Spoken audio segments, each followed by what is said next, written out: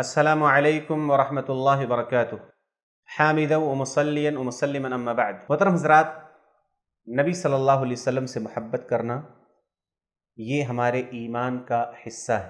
अल्लाह के नबी सल्लल्लाहु अलैहि वसल्लम ने इरशाद फरमाया, ला युमिन अहदुकुम हत्ता अकून अहब्ब इलैहि मिन वालिदिही व वलदिही वन्नास अजमईन. कि तुम में से कोई भी शख्स कामिल ईमान वाला नहीं हो सकता, जब तक मैं उसके नज़दीक, उसके वालिद से, उसकी औलाद से और तमाम लोगों से ज़्यादा महबूब ना हो जाऊँ। एक मुसलमान यकीनन अपने नबी सल्लल्लाहु अलैहि वसल्लम से बेहद मोहब्बत करता है। उसके दिल में नबी सल्लल्लाहु अलैहि वसल्लम की मोहब्बत बहुत ज़्यादा होती लेकिन ये मोहब्बत जिहालत पर मबनी होती अगर आप मोहब्बत रसूल का दावा करने वाले, आशिक रसूल का दावा करने वाले एक मुसलमान से पूछें कि आप नबी सल्लल्लाहु अलैहि वसल्लम के बारे में क्या जानते हैं? तो वो आपकी ज़िंदगी के एक बड़े हिस्से से लाइल्म होता है। लिहाजा हमसे मुतालबा ये किया गया है कि हम और आप बसीरत पर, इल्म पर नबी सल्लल्लाहु अलैहि वसल्लम से मोहब्बत करें। आपको जानना चाहिए कि नबी सल्लल्लाहु अलैहि वसल्लम की ज़िंदगी किस तरह से शुरू होती है और किस तरह से ख़त्म होती है। नबी सल्लल्लाहु अलैहि वसल्लम ने अपने बचपन के अयाम अपनी जवानी के अयाम कैसे गुजारे?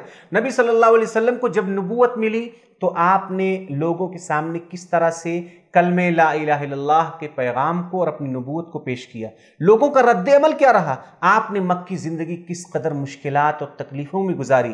किस तरह आपके असहाब को बुरी तरह से सताया गया? आपको कई कई हिजरतें बर्दाश्त करनी पड़ी। यहाँ तक कि आपको अपना महबूब शहर मक्का छोड़कर जाना पड़ा। इस्लाम की इस तालीम को इंसानियत तक पहुँचाने के लिए नबी सल्लल्लाहु अलैहि वसल्लम को और आपके सहाब कराम को कितनी ज़्यादा कुर्बानियाँ देनी पड़ी और आप सल्लल्लाहु अलैहि वसल्लम ने इस दीन की तालीम को, यहाँ के पैगाम को इंसानियत तक पहुँचाने के लिए क्या क्या तरीक़े अपनाए और आपने मक्की ज़िंदगी में कैसी कैसी मुश्किल झेली हैं? किस किस तरह से मुशरकिन ने, मुनाफिकीन ने, कुफ़ार ने नबी सल्लल्लाहु अलैहि वसल्लम को और सहाब कराम को परेशान किया है? इस पूरे हालात ज़िंदगी को जब तक इंसान अच्छी तरह से नहीं पढ़ेगा, तब तक वो अपने नबी के दर्द को, आपकी तकलीफ़ को, आपके एहसास को, आपके जज्बात को, आपके अजायम को तब तक इंसान समझ नहीं सकता।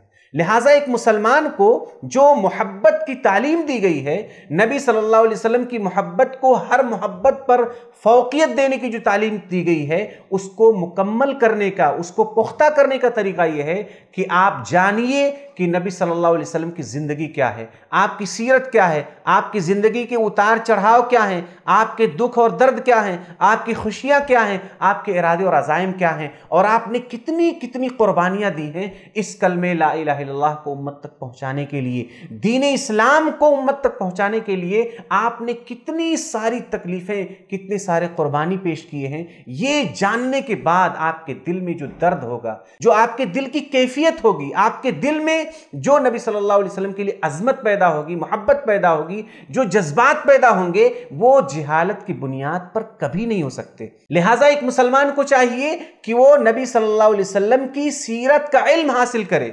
आपकी कुर्बानियों को, आपके एहसास को, आपके जज्बात को, आपके अजीम अखलाक को समझे, आपकी अजीम शख्सियत को पहचाने और उसका तरीका यह है कि आप सीरत पर लिखी गई किताबों का मताल कीजिए। और ये किताबें उर्दू में और आसान उर्दू में मौजूद हैं।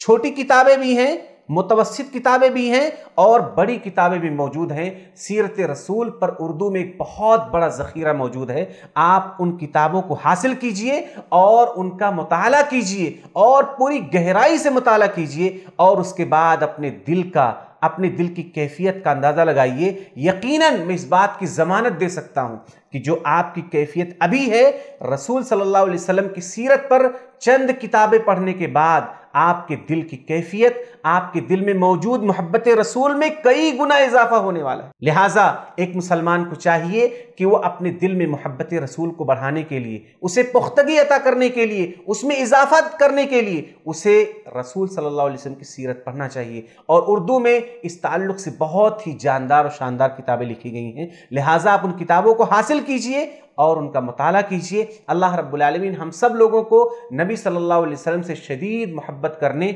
और आपकी इत्तबा करने की तोफ़ी अता फ़रमाए। आमीन। अल्लाम वरहमल वर्क